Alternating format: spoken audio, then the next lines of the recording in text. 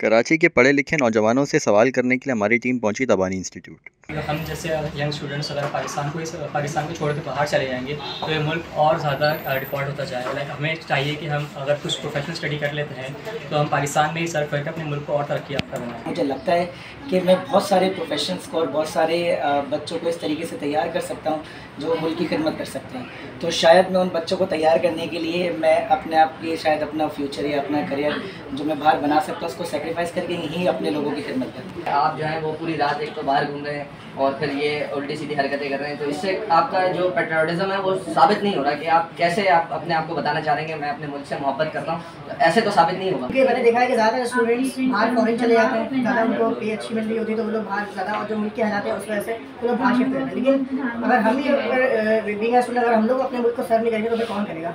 और ये यूथ जो जनरेशन है, हमें हमें ही सर्व करना पाकिस्तान को।